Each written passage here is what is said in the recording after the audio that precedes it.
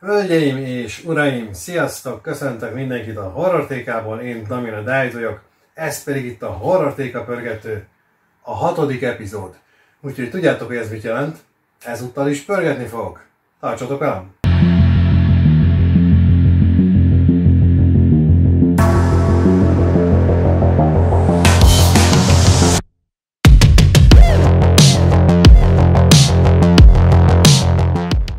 Tizenkettő darab horrorfilm, amit még soha nem láttam a gyűjteményemből, DVD-n, Blu-ray-en, illetve VHS-en, és akkor természetesen ezúttal is kettő darab pörgetés lesz, tehát kettő darab filmet fogok kiválasztani, véletlenszerűen a horrortéka pörgető segítségével, amiket aztán megnézek, majd pedig beszélek róluk. Kibeszélem őket teljes mértékben. Most hát akkor nézzük, hogy melyik az a 10 horrorfilm, ami az előző epizódból visszatér, és melyik az a kettő, ami most újdonságként csatlakozik a többihez ebben az epizódban. Nézzük! Az első, rögtön az első újdonság ebben a videóban, a Vikingek titka DVD-n. Második, Planet of the Sharks Blu-ray-en. Harmadik, Ragadozó csajok VHS-en. Negyedik, Én pici szemem DVD-n. Ötödik, Szellemek háza VHS-en. Hatodik, Trapped Blu-ray-en. Hetedik, Arc DVD-n. Nyolcadik, Night of the Animated Dead Blu-ray-en. Kilencedik, a második újdonság ebben az epizódban, 73 Minutes Blu-ray-en. Tizedik, Cannibal Szikla DVD-n. Tizenegyedik, Otthon biztonságban DVD-n. Tizenkettedik, Rajzás DVD-n. Itt van tehát mind a 12 horrorfilm, DVD-k, Blu-ray-ek, illetve VHS-ek, úgyhogy akkor következzen a hatodik epizódnak mindkét pörgetése. Legelőször is ugyebár a piros mutatót fogjuk nézni, hogy az vajon hol fog megállni. És akkor közben próbálok itt óvatosan lépkedni, mert Merlin kutyus szó szerint itt alszik, fekszik a lábai mellett, ahogy azt a bevágott fotókon is láthatjátok. No de, mármint őt, a lábaimat nem, mert én csináltam a képet, képeket. Na de mindegy. Pörgessünk, az itt a lényeg. Úgyhogy akkor, piros mutató, első pörgetés. Nézzük, hogy vajon hol fog megállni, hogy vajon melyik lesz az a film, amit most először fogok megnézni. Na nézzük az első pörgetés során, hogy a piros mutató hol fog megállni. És az nem más, mint a hetes. És a hetes, az kérem szépen az Arc című film DVD-n. Bizony, a hetest korábban már kipörgettem egyszer. Érdekes egyébként, de van olyan szám, amit már másodjára pörgetek ki, van olyan szám, amit még soha nem pörgettem ki ebben a videószériában, de hát pont ez a lényeg, ez benne az érdekes, hogy teljesen véletlenszerű minden. Na de nézzük akkor, hogy ez az Arc című film vajon micsoda, mit takar. Azt mondja, hogy Szünetel Ázsia Extrém gyűjteményben jelent meg. No de hát akkor nézzük. Azt mondja, hogy Arc. Az angol címe Face. És úgy látom, hogy ez a film, ez kore- koreai film, igen. Úgyhogy koreai hanggal fogom tudni megnézni, illetve magyar felirattal, mert hát ugye eredeti nyelven szeretek filmeket nézni, úgyhogy nem szinkronnal fogom ezt nézni. Szóval, na, ezt a kiejtést figyeljétek, nem tudom, hogy jól csinálom-e. Hyeon Min munkája különleges. Halott emberek arcát rekonstruálja a koponyáik alapján. Ez bizony bizarul hangzik. Mégis hiába ő a legjobb, magánéleti problémája miatt úgy tűnik fel kell adnia a hivatását. Jeon Min kislánya ugyanis egy ritka, de annál súlyosabb betegségben szenved, és sürgősen szívátültetésre lenne szüksége, különben meghal. Hát ez bizony nagyon súlyos probléma. Aztán eközben egy kegyetlen sorozatgyilkos, sorozatgyilkost próbál elkapni a rendőrség, aki brutálisan végez áldozataival, eltávolítva azok létfontosságú szerveit, majd a nyomokat savval tünteti el, csak csontvázakat hagyva maga után. Hát, hogyha nem volna itt elég probléma, még egy sorozatgyilkos is bekerül a képbe. De elég betegül hangzik azért ez. Szóval a hatóságok Jeon Min segítségét kérik az áldozatok azonosításához, de ő eleinte nem akarja vállalni a feladatot. Kislánya fura rémálmainak hatására azonban mégis bekapcsolódik a nyomozásba. Ezzel a döntésével viszont nem csak a saját, hanem szerettei életét is kockára teszi. Ez igazság szerint nagyon jól hangzik. Bizony. ez tetszik így a leírás alapján, úgyhogy remélhetőleg jó lesz a film, és csak 79 perc a borító alapján, úgyhogy ez egy gyors nézés lesz. 79 perc, az nagyon jó. Úgyhogy Szünetel, Ázsia Extreme, DVD, arc. Ez lesz az első, amit megnézek, így a hetes számnál kipörgetve. Na de vajon, melyik lesz a második film? Következzen a második pörgetés, amikor is ugyebár a fekete mutatót fogom nézni. Hogy vajon az hol fog megállni. Na nézzük, vajon hol áll meg a fekete mutató? És akkor a fekete mutató az pedig megáll a Hű, ez majdnem a határon állt meg, de ez még éppen, hogy a hármas szám. Ez még éppen, hogy a hármas szám, és nem a négyes. Bizony. A hármas, az pedig nem más, átépek a kutyuson. Ragadozó csajok VHS-en. Na hát, ennivalóak, de felfalnak, ha nem figyelsz. Ragadozó csajok VHS-en. Na, hát akkor nézzük. Azt mondja, hogy Luke és Roger ugyanolyan, mint a többi srác a suliban. És természetesen ugyanazt akarják, mint minden pasi. Nőt. Úgy utálják a szüzességüket, hogy szinte mindenre hajlandóak lennének egy gyors és alapos szex jelenetért. Ez eddig úgy hangzik, mint az amerikai pite, kávé. Vagy valami az hasonló. Pontosabban, csak majdnem mindenre, mert körülöttük egyre több hímet talál a rendőrség holtan, halára fagyva, a lányok pedig vadítóak, izgalmasak, viszont van egy nagy titkuk. Valószínűleg nem is földi emberek. Ajjaj. Azt írja, hogy science fiction végjáték itt a hátulján, de hát ez horrorfilm, horror science fiction végjáték akkor nagy valószínűséggel. Szóval ragadozó csajok ennivalóak, de felfalnak, ha nem figyelsz. Úgy látszik, hogy itt kapunk némi humort, néhány srácot, akik el akarják veszíteni a szüzességüket, csak hogy nem mindegy, hogy kivel fekszenek le, mert ezek szerint a lányok között vannak, akik nem is földi emberek, hanem valószínűleg űrlények. Úgyhogy ez volna a ragadozó csajok, ez is uh, igazából viccesen hangzik. Valószínűleg az arc lesz a komolyabb film, és valószínűleg a jobb film, de hát majd kiderül. Viszont így a leírás alapján úgy gondolom, hogy a ragadozó csajok valószínűleg eléggé szórakoztató lesz. Úgyhogy, ja, ez a két film kerül majd most megtekintésre. Arc és ragadozó csajok. Megyek és megnézem őket.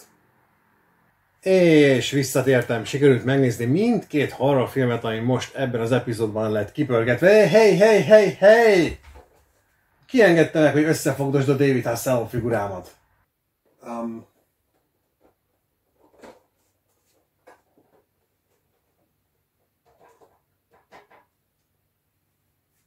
És miért vagy már megint itt? Hát, én csak nézelődöm. Csak nézelődsz? Nézd, ott van Alexander Daddario. Ennek a cselnek nem dőlök be még egyszer. Taylor Swift.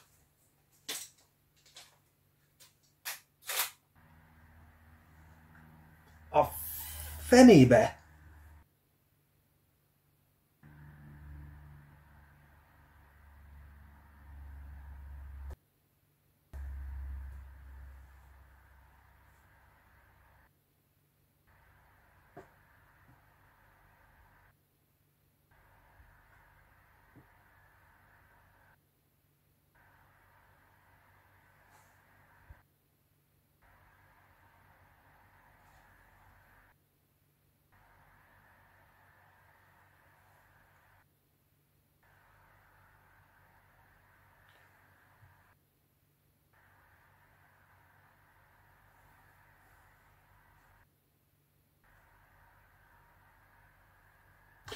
Hol is tartottam? Ja igen. Tehát sikerült megnézni mindkét horrorfilmet, ami ki lett pörgetve ebben az epizódban. És ugye először az arc, utána pedig a ragadozó csajok. Úgyhogy akkor pörgetési sorrendben néztem őket, ugyanebben a sorrendben beszéljünk is róluk. Úgyhogy kezdjük az Arc című filmmel, ami nem más, mint egy 2004-es koreai horrorfilm. Bizony, angol címe Face vagyis arc. És az eredeti koreai címet pedig nem kísérlem meg kiejteni. bár úgy hiszem, hogy talán rá sincs írva a hátuljára a DVD-nek, és nem is írtam fel magamnak ide a jegyzeteimbe, úgyhogy, ja, de hát tök mindegy, inkább nem kísérletezem vele. Viszont, amivel megpróbálkozok, kiejteni a rendezőnek a nevét, ami valószínűleg nem fog sikerülni, de azért próbálkozzunk meg vele. Tehát Gon Yo, vagy Sang John Yo, vagy Sang John Yu, Sang John Yo, Yu, tök mindegy, a rendezőt így hívják. Tehát ő rendezte az Arc című 2004-es horrorfilmet, koreai horrorfilmet. Ez a rendező, hát egy eléggé rövid rendezői pályafutást tudhat maga mögött, ugyanis az Arc című filmen kívül ő csinált egy rövid filmet, valamint csinált egy antológiában egy szegmest, ami végül is egy rövid film hosszúságnak felel meg. És ennyi. Tehát ez az egyetlen egy egész estés horrorfilmje, amit ténylegesen ő is rendezett elejétől a végéig. Úgyhogy ja, nagyon-nagyon minimális, rövid rendezői pályafutást tudhat maga mögött ez a Sang John Yu nevezetű emberke. Nos, szóval az Arc című film, hát akkor a színészekről igazság szerint nem nagyon fog semmit sem mondani, mármint szerepel benne, ugye David hátulja szerint, e, jó, inkább hagyjuk, tehát tök mindegy. Szóval korai színészek vannak benne természetesen, hiszen egy korai filmről van szó, ahogy azt már mondtam. Így nézegettem az IMDb oldalon így a filmográfiájukat, de hát csupa ilyen korai filmekbe szerepeltek, és nem nagyon találtam köztük olyat, ami, amit úgy szeretnék úgy nagyon kiemelni, úgyhogy hagyjuk. De beszéljünk inkább a színészek teljesítményéről, mint sem konkrétan a színészek nevéről, meg filmográfiájáról, meg hasonló. Szóval a színészek teljesítménye ebben a filmben szerintem igazság szerint mindenki az egy egész normális alakítást, úgyhogy nem tudtam azt mondani, hogy ebben a filmben rossz lenne a színészkedés vagy ilyesmi. Teljesen jó, teljesen jó, meg voltam vele elégedve. Úgyhogy ebből a szempontból rendben vagyunk. Na hát most a rendezőre visszatérve. Ugye ez az egy egész estés filmje van, és aztán kész. E, igazság szerint ő rá sem tudom azt mondani, hogy rossz munkát végzett volna. Szerintem összerakta a filmet amennyire lehetett, Persze ez nem azt jelenti, hogy nincsenek vele problémák, erre majd rövidesen kitérek. Szóval ez a film 79 perces, viszont az IMDb weblapon 92 percesnek írja. És akkor így, így rögtön ezen így felkaptam a fejemet, hogy lehet, hogy a magyar DVD az vágott. És akkor így utána néztem, utána kerestem, de, de nem, tehát nem vágott a magyar DVD, ez a film 79 perc és kész, Úgyhogy külföldön is ennyi, a külföldi DVD kiadásokon, úgyhogy ez a 92 perc, amit az IMDb-n írnak, az elírás. Az téves információ, bizony az IMDb weblapon is olykor-olykor azért találni téves információkat. Úgyhogy bárki, aki megnézi az IMDb oldalát ennek a filmnek, ne tévesszem meg senkit, hogy ott 92 percet írnak, az valótlan, a magyar DVD teljes mértékben vágatlan 79 perces ez a film. Viszont ami már konkrétan nem igazán valós dolog magán a DVD-n, vagy a hátulján, hát az részben a tartalom leírás. Egyébként ezen mindig mosolyogok, amikor nagyon furán írják le a tartalom leírást, a szinopszist egy DVD-nek, vagy akár Blu-ray-nek, vagy VHS-nek a hátulján, hogy valótlant írnak, vagy nem feltétlenül azt írják le, amiről konkrétan a film szól, hanem kitalálnak dolgokat lényegében, és nem tudom, hogy olykor-olykor ezek, ezek a dolgok honnan jönnek. Tehát, hogy valaki, aki azzal foglalkozik, hogy leír egy szinapszist, megalkot egy szinapszist, hogy ráírja azt egy borítónak a hátuljára, egy hátsó borítóra, most itt legyen szó arról, hogy konkrétan aki kitalálja ezt a szöveget, most Magyarországon persze lehet, hogy csak a külföldi szöveget fordították le, tehát nem biztos, hogy a magyarok, ugye ennek a filmnek a kiadója, a Színetel írta ezt itt el, tehát lehet, hogy már külföldön is így szerepel a szöveg rajta, de lényeg, hogy akkor is így rácsodálkozok e- ezekre a dolgokra, hogy, hogy aki kitalálja ezt a szöveget és leírja, az nem tudom, nem nézi meg a filmet, vagy nem törődik ezzel az egésszel maximálisan, tehát hogy kész, nem érdekes, leírom ezt, aztán kész, még akkor is, hogyha nem is arról szól valójában a film. Tehát ugye felolvastam a DVD hátulján lévő szöveget ugye a videónak az elején, amikor ki lett pörgetve ez a DVD, és hát ugye az első jó pár sor az lényegében valós. Itt ugye azzal kezdődik, hogy Hyeon Min munkája különleges, stb. stb. Itt valami egyébként a így a agyamban egy női karakter ugrott be egyébként, és közben meg férfi főszereplőnk van, tehát nem tudom miért egy nőre gondoltam, ahogy olvastam itt a leírást.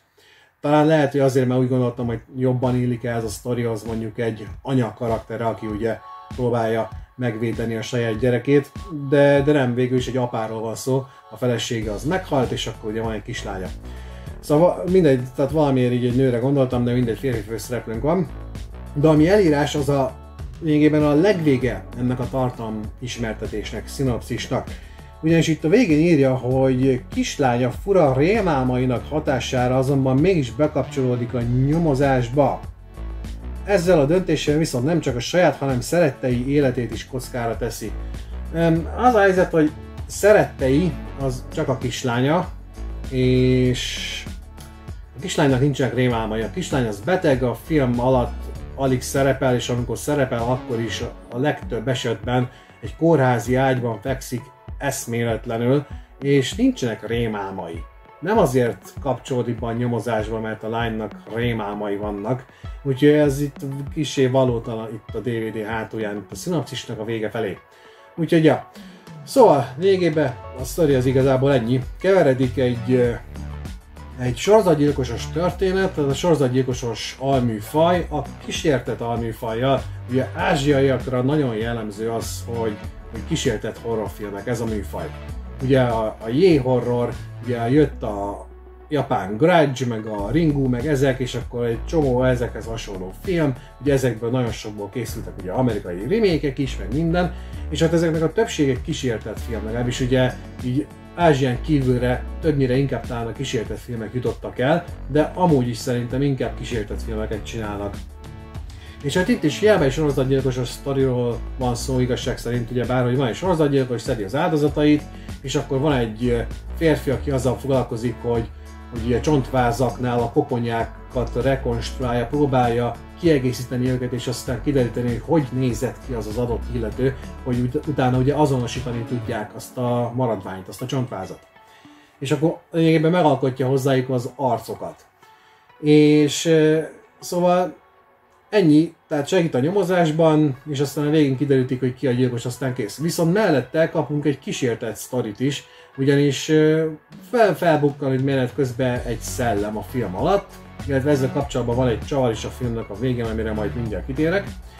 Szóval kísértett történet ez is, és konkrétan van egy olyan jelenet, amikor a szellem előjön, és akkor ugye a haja teljesen belóg az arcába, és csak az egyik szeme látszódik az egész arcából, és az is ilyen nagyon tágra van nyitva, és akkor úgy néz bele a kamerába, és akkor lényegében ez a jelenet totál visszaköszön, ugye már hirtelen nem is tudom, mert mindig összekeverem a Ringu vagy a Grudge filmekből, tehát ugye a kettő közül valamelyikben talán a Ringu-ban nézett ki így, igen, a szá, nem a Samara, az az amerikai, Sadako, és Sadako-nak hívták a japán filmekben a körben, a szellemet, és ugye ő nézett így ki azokban a filmekben sokszor, hogy a haja teljesen belóg az arcába, és csak az egyik szemét látni. És akkor itt kapunk egy tök ugyanolyan jelenetet, tehát lényegében egymást másolják ezek az ázsiaiak, még úgy is, hogy, bár, hogy a Ringo az japán film, ez meg koreai.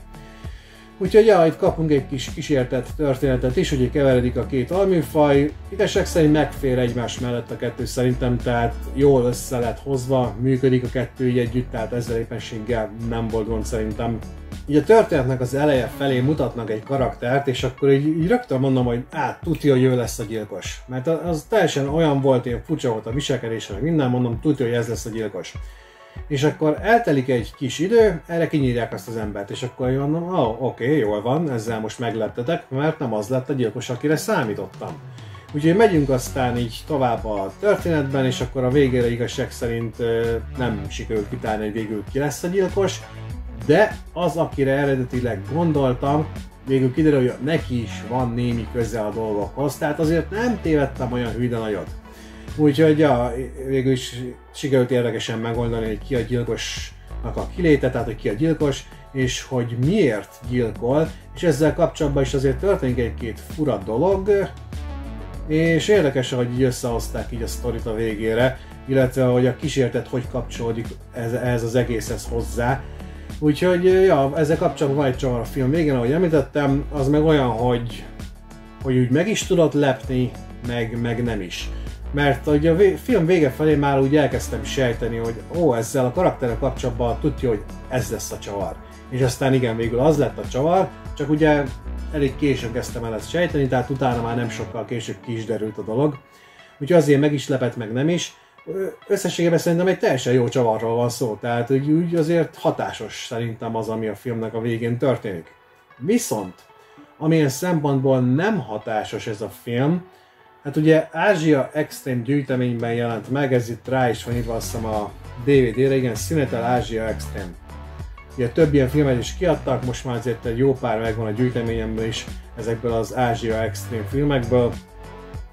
És egyébként külföldön is így adták ki őket, tehát azt hiszem, hogy Amerikában is volt egy ugyanilyen széria, hogy Ázsia Extreme, csak ott picit másképp nevezték el, de ugye ott is ugyanígy adták ki ezeket a filmeket így a 2000-es évek első felében, közepén.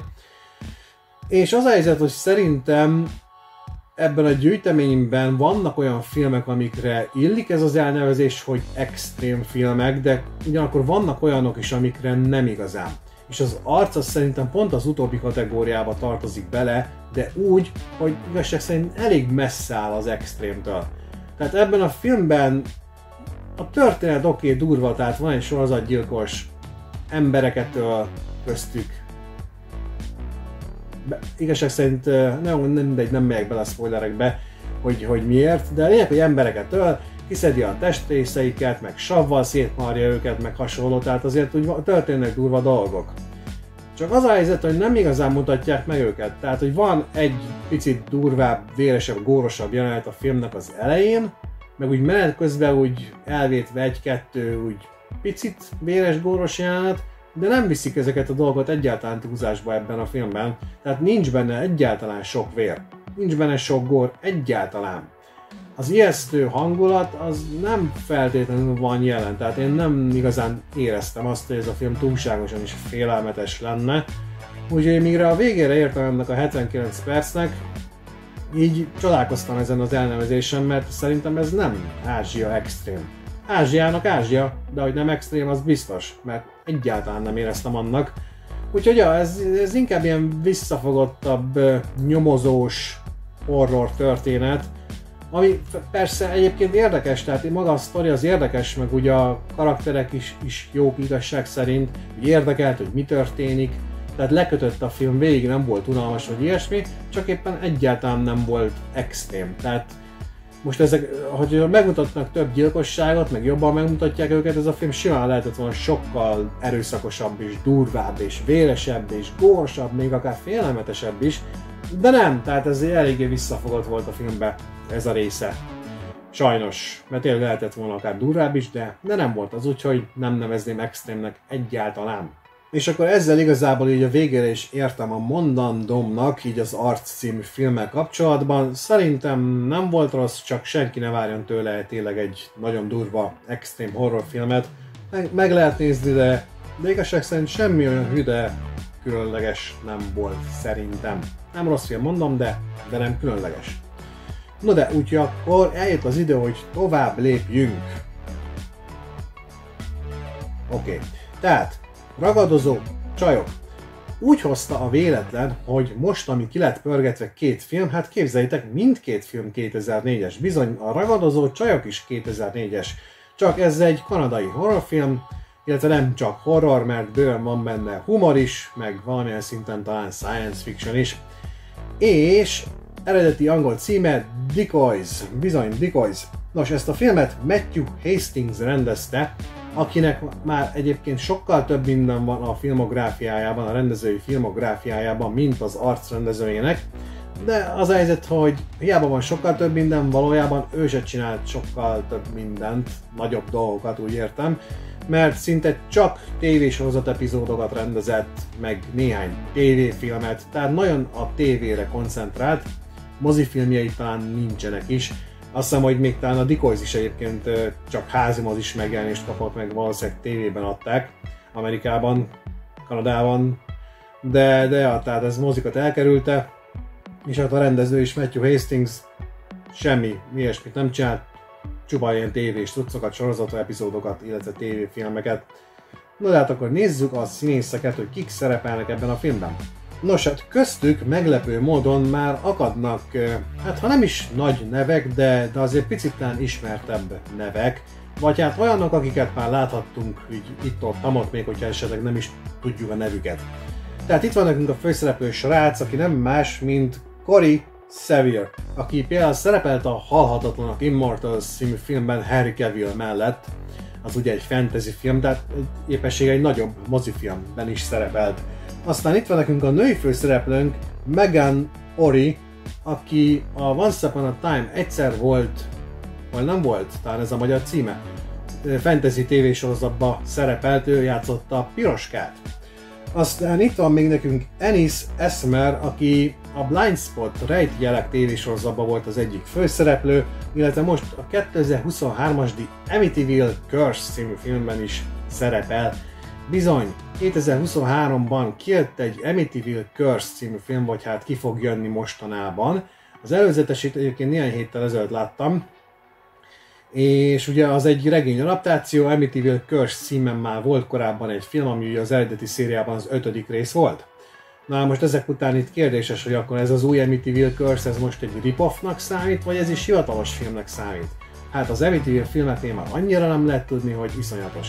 És tök érdekes, hogy nem volt azért olyan régen, tehát tavaly október környékén, vagy mikor volt, hogy a horoszkóppal kiveszéltük az Amityville másolatokat, és akkor végmentünk az összes címen, és azóta már kijött egy rakás új cím, amiről akkor még nem is tudtunk. És most nagyon elkanyarodtam az Amityville irányába, pedig nem kéne, mert ez a videó nem arról szól. Szóval térjünk vissza. A Decoys, vagy Ragadozó Csajok című filmhez. Ott tartottam, hogy Ennis Esmer bizony szerepel az Amityville Curse-ben is. Aztán lépjünk tovább. Benne van még ebben a filmben talán az egyik legismertebb név, Richard Burgi, vagy Burgi, nem tudom, hogy kell a nevét, aki például horrorfilmekben is szerepelt, mint a Motel 2 vagy a Péntek 13 reboot, vagy sokan ismeretik őt a Született Feleségek című tévésorozatból is. Ja, ő azért már elég sok helyen feltűnt, és szerintem ő egy elég, elég normális színész szerintem. Aztán Nicole Eggert, aki megint csak talán egy ismertebb név valamilyen szinten, ő például a Baywatch tévésorozatban volt az egyik főszereplő, talán egy két-három évadon keresztül, illetve a The Hunting of Morella című horrorfilmben is ő volt a főszereplő, azt hiszem a pont Morellát. Úgyhogy ja, ő is volt már horrorfilmben, meg egy-két így ismertebb dologban. Úgyhogy az a helyzet, hogy ebben a filmben akármennyire is ismeretlen a rendezője, meg ugye maga a film is valószínűleg nem egy túlságosan ismert horrorfilm, de a színészek között azért akadnak így picit ismertebb nevek, akiket már azért láthattunk itt-ott, ott, úgyhogy ja, ez úgy érdekes volt. Mert egyébként maga a film az tényleg egy olyan, hogy kisköltségvetés, házi mozi, tévé, stb. Tehát nem egy nagy film, és nem mégis azért akadnak benne ilyen színészek. Ami persze előnyös abból a szempontból, hogy legalább nem gagyi színészeket kapunk a filmbe. Tehát a színészi játékra igazság szerint itt is azt mondani, hogy nem volt rossz, talán nem is a legjobb, de szerintem bőven elfogadható volt mindenkinek a színészi játéka ebben a filmben, úgyhogy az igazából egy jó dolog.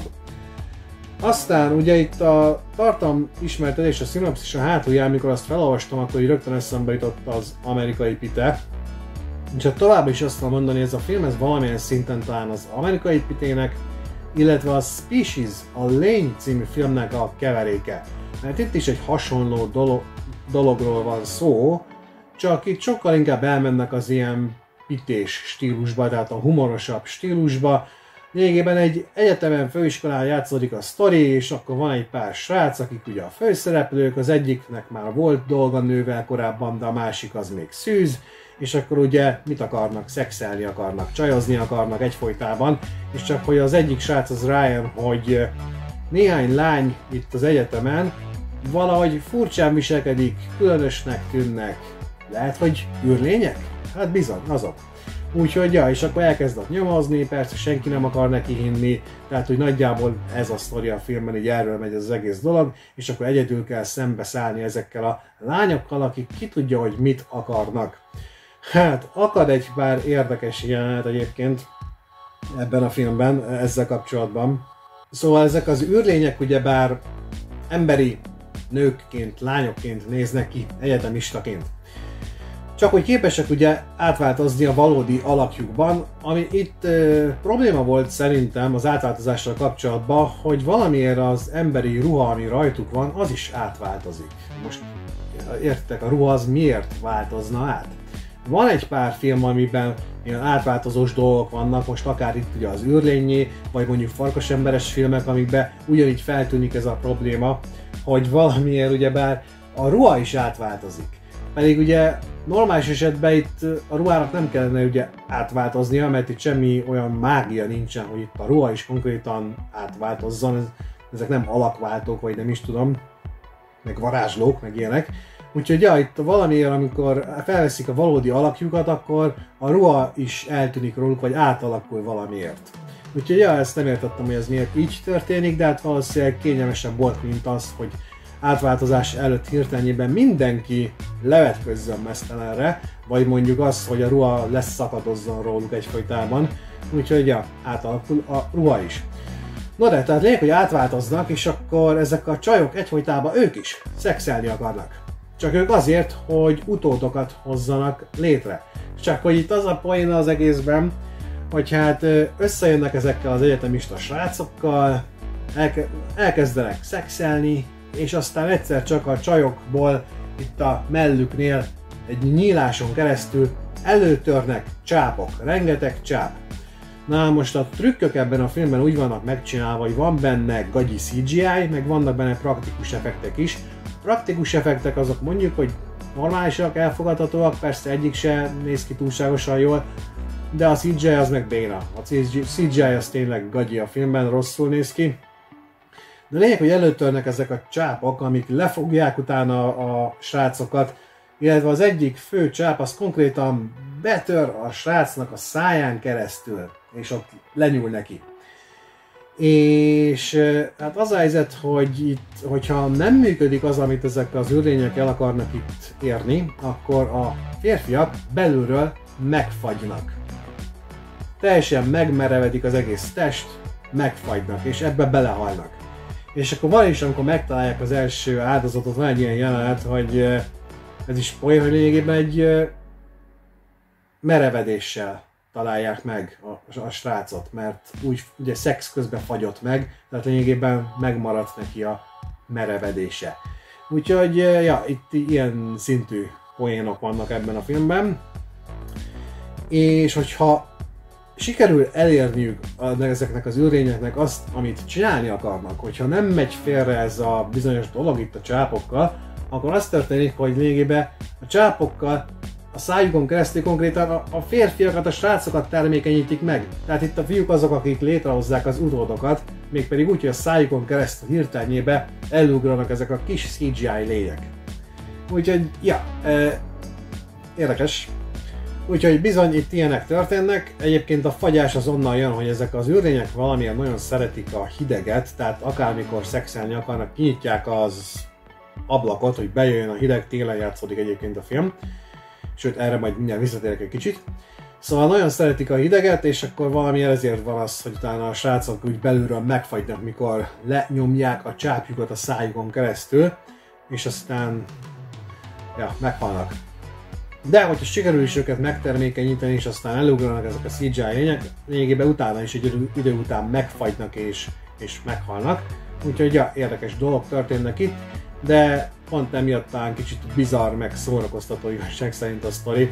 És ott persze, ahogy az ebből a történetből adódik, meg sejteni lehet, természetesen van a filmben mesztelenkedés, aztán ugye bármivel nagyon szeretik a hideget, persze, hogy a tűz, a, a forróság az ellensége ezeknek a lényeknek, úgyhogy a meleget nagyon nem szeretik, és amikor megijednek mondjuk tűztől vagy ilyesmi, akkor van az, hogy átváltoznak eredeti alapjukba, és akkor van az, hogy, hogy nem csak a csápokat mutatják, hanem akkor már teljesen mint tetőtől talpig ugye egy űrlényként néznek ki, még egy szörnyként néznek ki. No de és akkor, ahogy mondtam, ugye télen játszódik a film, az hogy nagy részt. A film Legelején ugyanis Halloweenkor indítunk, bizony ott mennek a kisgyerekek beöltözve az utcákon, van egy jelenet, ami Halloweenkor játszódik, majd ugrunk előre egy pár hónapot, és immár karácsonykor vagyunk bizony, illetve az azt megelőző napokban, úgyhogy ez a film nagyrészt a karácsonyi időszakban játszódik, úgyhogy majd egy karácsonyi ajánlóban lehet, hogy újra elő fog kerülni majd idővel. De a lényeg az az, hogy ja, ez is egy olyan film, amit igazság szerint elő lehet szedni így a karácsonyi időszakban, decemberben majd, hogyha esetleg kedvetek támad megnézni. Úgyhogy ja, akkor játszódik, ami persze szerintem úgy egy érdekes dolog, szerintem az mindig érdekes, meg mindig jó, hogyha egy horrorfilmet így az ünnepek alkalm, alkalmával helyeznek el, akár Halloweenkor, akár karácsonykor. Úgy általában ez a kettő ugye a legkedveltebb ünnep így a horror rangok körében úgy vettem észre, és hát én is szeretem a Halloweenkor, illetve a karácsonykor játszódó horrorfilmeket is. Úgyhogy ja, persze egyébként nagy karácsonyi hangulata az nincsen, tehát lehet látni, hogy tél van, hideg van, de inkább a filmnek a vége felé van az, hogy már így előjön, előjön az, hogy na igen, tényleg karácsony van egyébként. Úgyhogy ja, most pedig spoilerkedni fogok ezzel a filmmel kapcsolatban, így aki nem akarja, hogy olyan dolgokat is megtudjon, amiket nem kellene, hogyha még nem látta ezt a filmet, az inkább ugorjon előre arra az időpontra ebben a videóban, ami ki van írva a képernyőre. És hogyha megtettétek, akkor nézzétek majd onnantól tovább a videót, aki pedig nem ugrott előre, most spoilerek jönnek, úgyhogy én figyelmeztettem mindenkit. Tehát ragadozó csajok, decoys, spoilerek. Hát a film végével kapcsolatban szeretnék mondani egy pár dolgot, illetve még így a karakterekkel kapcsolatban. Szóval, van a női főszereplőnk, akit említettem, ugye bár ez a bizonyos Megan Ari, aki a Once Upon a Time-ban szerepelt. Ő itt lényegében a főszereplő srácnak hát a egyik legjobb barátja, és lehet látni az egész film alatt, tehát a néző tudja, hogy ez a csaj, ez szerelmes a srácba, hogy tetszik neki a srác. És akkor a film legvégén ez így tök fura, hogy a srác végre észreveszi azt, hogy hoppá, tetszik ennek a csajnak, és így tök hirtelen rájön arra, hogy, hogy valójában ez a csaj is tetszik neki, tehát hogy nagyon elkapkodják szerintem azt, hogy ők ketten összejönnek így a filmnek a legvégén, mert egészen addig a pillanatig ennek a srácnak a, a, egy másik szőke csaj jön be, akiről kiderül, hogy űrlény, szóval egyfolytában azokkal akar lefeküdni, meg ilyenek, tehát szóba nem kerül az, meg semmi arra utaló jel nincsen, hogy neki esetleg bejönne ez a bizonyos lány, a főszereplő lány, és a film végén ezért úgy tök hirtelen jönnek össze, ami totál el van kapkodva, és így számomra eléggé hihetetlennek történik így a történet szempontjából, de persze a vége csavar érdekében ezt meg kellett lépniük, ugyanis a lányjal kapcsolatban kapunk egy végecsavart, amikor is kiderül, hogy valójában ő is egy űrlény. Hát mi van? Hát nem már. Szóval, de egyébként ez is olyan, hogy ott a vége felé már lehet sejteni, hogy ó, tudja, hogy meglépik ezt a poént, és aztán igen, meglépték ezt a poént, de hát ez nem poén, kérem szépen. Az egész film alatt ez a lány, még hogyha nem is feltétlenül hiszi el a srácnak, hogy itt űrlények vannak az egyetemen, valójában segít neki. Meg látszik, hogy ugye tetszik neki a srác. Tehát egy pozitív karakternek állítják be lényegében, és aztán a végén, amikor már kiderül ő, az ő számára is, hogy igen, itt űrlények vannak, akkor is segít neki legyőzni az űrlényeket, meg ott van. Tehát most a saját fajtája, a saját faja ellen dolgozik lényegében az egész film alatt. Most ennek mi értelme van? Az egész poén nem működik a film végén. Nincs értelme. És aztán a legvégén ugye, amikor épp összejönnek és nekiállnak szexelni, akkor persze átváltozik a csaj, előjönnek a csápok, és akkor ledugja őket a srácnak a száján. Most akkor, hogyha nagyon tetszik neki a srác, ott a végén lényegében simán kiderülhet, hogy ott megöli. Csak odáig már nem jutunk el a történetben. Úgyhogy fogalmam sincs, hogy itt mit akartak ezzel a poénnal, de hát ez nem működik ez a csavar, szerintem ez akkora egy hülyeség volt itt a végén, hogy nagyon. Tehát itt eh, egy szimpatikus női főszereplőről van szó, aki az egész film alatt kedvelhető és akkor a végén kiderül róla ez a csar, és akkor az nem működik az ő karakterének a szempontjából, szóval ez, ez csak olyasmi, hogy ó, erőltessünk bele a film végére valami point, mert akkor az ütős lesz. Yes! De nem lett az, nem lett az. Azon kívül pedig hoznak néha-néha olyan bizarr döntéseket a karakterek a történetben, hogy hogy csak így fogtam a fejemet, hogy most komolyan így kell viselkedni, hát ez, ez, ez, ez valahogy nem jó, ez, ez nem tetszik nekem így. Úgyhogy akkor ezen lesz spoilerek vége. Bizony. Úgyhogy ja, ez volt itt a fő problémám, igen a vége csavar, illetve az, hogy vannak itt némi fura döntések, amiket a karaktereink hoznak a filmben, amik, amik nem működnek egyáltalán, amik, amik nem jók. Úgyhogy összességében ez a film szerintem valamelyest szórakoztató, talán lehet rajta nevetni is, de igazság szerint a humort azért nem viszik annyira túlzásba. A vér és a gór nincs benne sok, úgyhogy nagyon sokat ilyesmit ne várjunk tőle. Nem rémisztő vagy ijesztő a hangulata egyáltalán, tehát félni se lehet rajta. Ez inkább csak szórakoztató szerintem. Mert nem félelmetes, nem véres meg ilyenek, de valamelyest azért szórakoztató, mert úgy mert ugye a történet, a karakterek szerintem úgy összeadódik az, hogy végül szórakoztató lesz a végeredmény. Úgyhogy éppenséget talán meg lehet nézni valamilyen szinten. Viszont ennek a filmnek készült egy folytatása 2007-ben, a Decoys 2, a Ragadozó Csajok 2, bizony.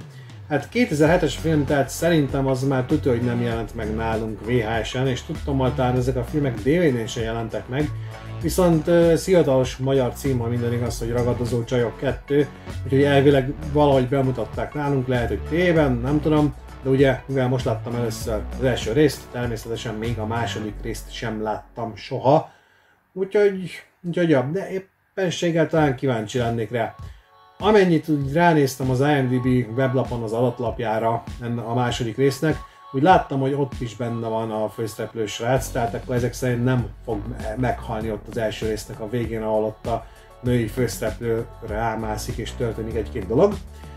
Uh, hoppá, ez lehet, hogy most spoileres volt, na mindegy. Szóval, ja, tehát ott visszatérő a második részben. Sőt, azt hiszem, hogy még utána az egyik másik karakter is visszatér a második részben, aki viszont elhalálozott az elsőben, ha jól emlékszem.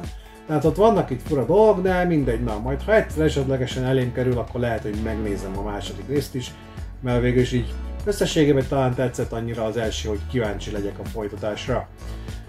De akkor ezzel igazából a végére is értem ennek a videónak, úgyhogy akkor döntsük el, hogy a két film közül melyik volt a jobb. Melyiket ajánlanám, melyiket nem, melyik tetszett jobban, melyik kevésbé. Hát, hú, most az a helyzet, hogy nehéz helyzetben vagyok. Hát igazság szerint nagyjából egy szintre tenném mindkettőt. E, igen. Az arc volt a komolyabb film egyértelműen, a ragadozó csajok volt az idétlenebb film, úgyhogy igazság szerint, hogy kinek lehet ezeket ajánlani, attól függ, hogy kinek milyen típusú horrorfilmek jönnek be. Az arc szerintem egy érdekes sztori, jó a csavar a filmnek a végén, csak ugye nagyon visszafogott, és azt nem mondom rá, hogy unalmas lenne, csak igazság szerint kevés dolog történik benne. Mert nagy részt azzal vagyunk elfoglalva az egész film alatt, hogy a főszereplő férfi aggódik a lánya miatt, vagy éppen az asszisztensével ott épp egy koponyán dolgoznak, és akkor meg beszélgetnek egymással. Tehát, hogy nagyon visszafogott a sorozatgyilkosos oldala a történetnek, tehát azt hiányoltam belőle, azt mutathatnának többet, több gyilkosságot, meg vért, meg lehetne erőszakosabb a film. Tehát az a legnagyobb problémája. Ugye ez egy visszafogottabb, kicsit lassú tempójú, sorozatgyilkosos történet, kísértett történet, de nem egy rossz film, csak éppen mondom, nem extrém, nem túl érdekes talán. De meg lehet nézni. A ragadozott csajok meg az se túl véres, meg erőszakos, nem is nevezném túlságosan jó filmnek, meg igazság szerint ugye más filmeknek a összemosódása, ugye említettem amerikai pite meg a lény, szóval ezt sem nevezném túlságosan, vagy ezt nem nevezném ugye túlságosan jó filmnek, de mellette talán szórakoztató valamilyen szinten, meg kedvelhetőek a karakterek, úgyhogy talán ezt is lehet ajánlani valamilyen szinten, Úgyhogy jelenleg én azt mondanám, hogy ebben az epizódban szerintem úgy döntetlen az állás, mert nagyjából nálam egy szinten van a két film. Úgy egy közepes szinten van talán mindkettő. Lehet őket, majd meg lehet őket nézni, lehet velük próbálkozni, de egyik se túlságosan kiemelkedő. Úgyhogy ez volna a Face, valamint a Decoys, az arc, valamint a ragadozó csajok. Ja igen. Még egy dolog ezt így elfelejtettem mondani a ragadozó csajokkal kapcsolatban. Pedig ez egy fontos dolog és igazából érdekes is, hogy maguk az űrlények. Tehát ugye bár ők az űrlények embereket ölnek, ugye szex közben megölik ezeket az embereket, meg utódokat akarnak létrehozni, tehát lényegében szaporodni akarnak terjedni a Földön, de ugyanakkor van egy olyan pontja a filmnek, amikor megpróbálják őket szimpatikusan beállítani, meg pozitívan beállítani. Hát, hogy ők csak itt vannak, ők nem akarnak gyilkolni, ők szeretni akarnak, meg meg utódokat létrehozni, meg ilyenek, csak hát ahogy ezt csináljátok, abba éppenséggel férfiak halnak bele, meg megfagynak, meg hasonlók, meg szenvednek, meg ilyenek. Tehát, de nem tudom, ez így fura volt számomra, hogy, hogy egy bizonyos ponton hogy totál szimpatikusnak akarják, meg pozitívnak beállítani őket, de hát ugye nem igazán nevezhetőek annak, és akkor utána a főszereplő srác azt mondja, hogy hát nem baj, és akkor megy a lángszóróval, meg hasonlók, szóval ja, van egy ilyen fura pontja a filmnek. Na de mindegy. Ja, most már tényleg eljutottunk a végére. Oké. Okay. Tehát, ha tetszett ez a videó, akkor kattintsatok a tetszikre, iratkozzatok fel csatornámra, továbbá követettek Facebookon, Twitteren, Instagramon. Minden linket megtaláltok a videó alatti leírásban. Hogyha szeretnétek valamit kérdezni, hogyha megírnátok a véleményeteket, például erről a videóról, vagy akár hogyha láttátok ezeket a filmeket, akkor ezekről a filmekről, akkor azt a videó alatt hozzászólásban tehetitek meg, vagy a Facebook csoportomban. Köszönöm, hogy velem tartottatok. Sziasztok!